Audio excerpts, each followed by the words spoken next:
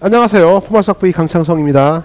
자 이제 우리 점화식 공부 많이 했잖아, 그쵸? 많이 한 상태에서 이제 점화식의 활용, 응용 문제로 넘어와서 나머지 문제를 풀까 하는데 이것 말고도 어? 수학 외적 문제, 기타 등등에서요 점화식은 언제든지 나타날 수가 있어, 그쵸?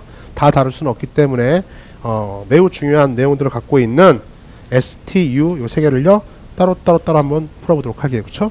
다 중요한 내용이 있으니까 출발해 봅시다. A114의 S번이야, S번.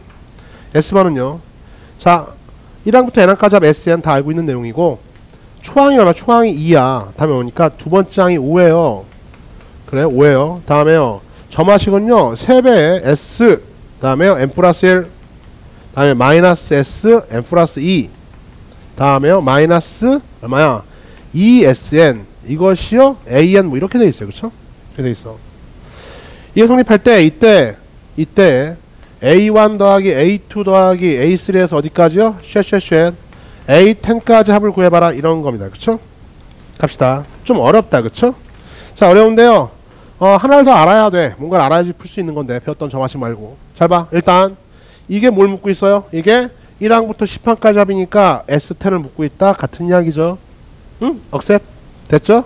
받아들였어. 해봐.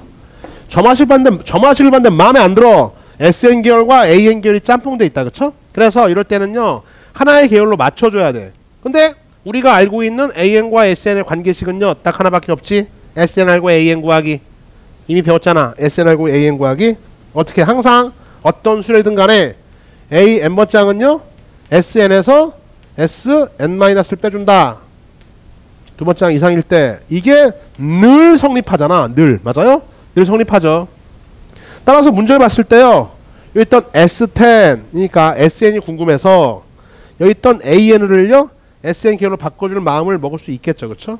먹어서 한번 넣어봤더니 어떤 일이 벌어져요? 3 곱하기 S의 N 플러스 1 마이너스 SN 플러스 2 마이너스 2배 SN 하고요. 이걸 넣어줬더니 좀 우울해졌어요. 아, 이렇게 풀면 될 줄 알고 넣어봤더니 좀 우울해. 얘가 만약에 AN 플러스 1이면 좀 괜찮았을 텐데 AN이어서요. 이렇게 늘어집니다. 으앗, 으앗, 으앗, 으앗, 으앗. 항이 몇 개입니까? 네 개죠. 우리 항 네 개짜리 점화식 다룬 적 있어 없어? 없잖아. 어? 없잖아. 피곤하다고 알겠어요? 피곤해. 어? 뭐지 이거? 아 이렇게 해서 항 네 개짜리 점화식을 배운 적 없기 때문에 안 된다는 게 아니야. 피곤하다고 얘기했다. 피곤해 알겠죠? 피곤합니다. 다른 방법이 뭐가 없을까? 라고 해서 봤더니 잘 봐요. 잘 봐. 요게 학습이 돼 있어야 돼. 요게 지금 항 몇 개짜리죠? 항 몇 개? SM만 봐. 3개짜리잖아. 3개짜리인데 개수들의 합이 얼마입니까? 0 나왔죠. 몇 번 점화식? 2번 점화식. 이거 일단 신경 쓰지 말고. 이 몇 번 점화식? 2번 점화식. 2번 점화식이면은요. 항상 어떤 형태로 맞춰진다고요? 지가 알아서 개차의 형태로 맞춰준다라고 쌤이 강의했었어. 그쵸? 기억나죠? 지가 알아서 개차 형태. 그 개차 형태가 이거잖아. 개차 형태가 이거. 맞아요? 그래서 어? 바꿀 수 있겠다. 아 이게 2번 점화식 2번 점화식 잘 모르면 V3의 2번 점화식 찾아서 보세요. 알겠죠? 그런 형태이기 때문에 개수의 합이 0이니까 한 3개짜리 저거를요 이런 형태로 쪼개면요 지가 알아서 맞아 떨어진다고 한번 확인하러 갑시다. 얘는 다음 같아요. 얘는요. 네. 요거 자 마이너스 SN 플러스 2가 있고요. 여기는요 플러스 얼마입니까? 다시 한번 써볼게. 3배의 SN 플러스 1이 있고요. 마이너스 2배의 SN이 있고요. AN이 있습니다. 항상 AN과 SN이 같이 나왔으면요 이걸 가지고 변형시키는 건 변함이 없어. AN과 SN의 관계식은 저거밖에 없는 거니까. 그치? 좀 어렵다. 잘 봐야 돼. 자, 이 상태에서요. 자, 계차 형태로 맞춰줍니다. 맞추면 이렇게 n 마이너스 묶어주면은요. SN 플러스 2 빼기 SN 플러스 1. 당연히 맞아떨어진다고 얘기했어. 계수합이 0이니까. 봐요. 자, 마이너스 묶어주면 사실은 마이너스 SN 플러스 됐잖아. 플러스 SN 플러스 1 플러스 3, 3개가 있는데 한 개 플러스 SN 플러스 한 개 줬어요. 몇 개 나왔어? 두 개 나왔죠? 두 개의 SN 플러스 1 하고요. 여기 또 마이너스 2SN 있으니까 1을 묶어주면요. 이렇게 이 좌변을 이렇게 정리하고 AN 괜찮니? 괜찮아야 돼.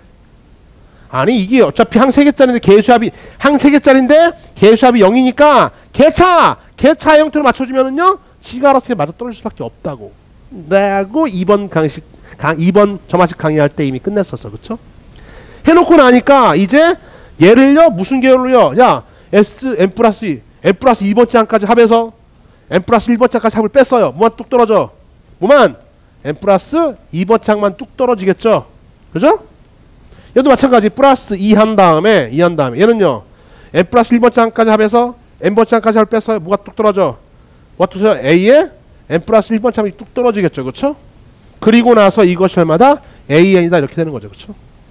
됐습니까? 따라서 아 요렇게 주어진 점화식을요. 이제 an 계열로 바꿀 수 있었다라는 겁니다. 그렇죠? 봤더니요. 이거는 물론 넘기면요. 다 넘겨주면요. 2번 점화식 형태이긴 한데 그 이전에 기본 점화식에 걸려요. 뭐냐면 봐요. 넘겨 어떻게 해? 넘겨주니까 아, 두 배 잘 봐. a n 플러스 1번 장은요. 이거 넘겨주니까 어떻게 돼요? 우리가 이미 배웠었던 기본 점화식이다. 물론 2번 점화식의 형태이기도 하지만은 그 이전에 이게 먼저 보이면 쉬워. 봐요. 얘가 얘죠? 이거 넘긴 거야. 어. 가운데 거의 두 배가 양옆의 합과 같다. 봤어? 가운데 거의 두 배가 양옆의 합과 같다. A는, A에는 무슨 수열? 등차 수열. 알겠어요? 등차 수열. 등차 수열. 아, 그래요?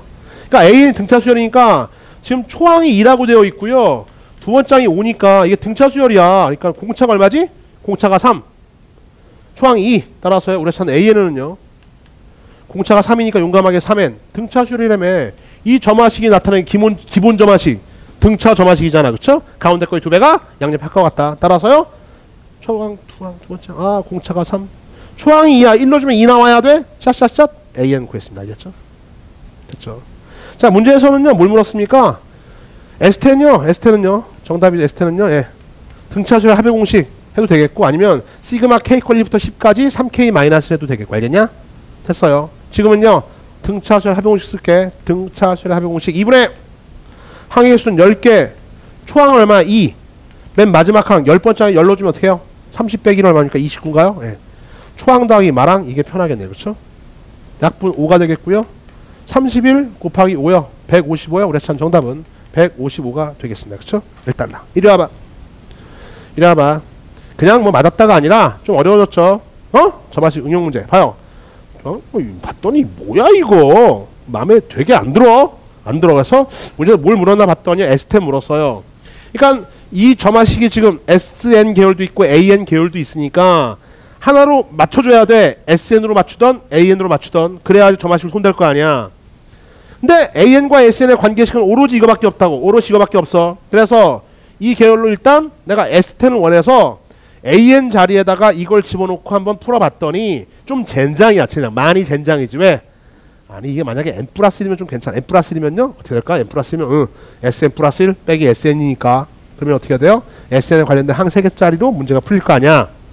그럴 수도 있어. 근데 지금 an이니까 넣어봤더니요 SN 계열이 n-1을 n, n 플러스 n 플러스 막 4개 항이 널브러져 있잖아. 배운 적 없어. 알겠어요? 없기 때문에 아 그거 아닌가 보다. 뭐가 있지? 봤더니요. 어. 여기 SN 계열에 있던 개, 항 3개짜리 개수의 합이 얼마입니까? 0이니까 얘를 일단 무시해놓고 아, 요 SN 계열을요 2번 점화식이니까요 어떻게 개차 개차의 형태로 쪼개질 수 있다. 지가 알아서 이렇게 딱딱 맞아 떨어진다.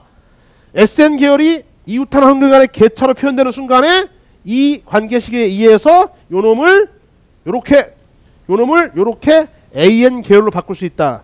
바꿔놓고 봤더니 이제 A만 남았고 우리가 알고 있는 점화식 기본 점화식 등차 점화식이 뜨네. AN 구할 수 있지요. AN 알면은요 SN도 구할 수 있겠네. 그쵸? 됐습니까?